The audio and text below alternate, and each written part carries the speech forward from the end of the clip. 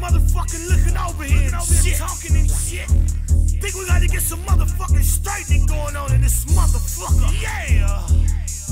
This what we go motherfucking do. What's up? We gonna walk over to these motherfucking niggas. Yeah. Talk to their ass like this.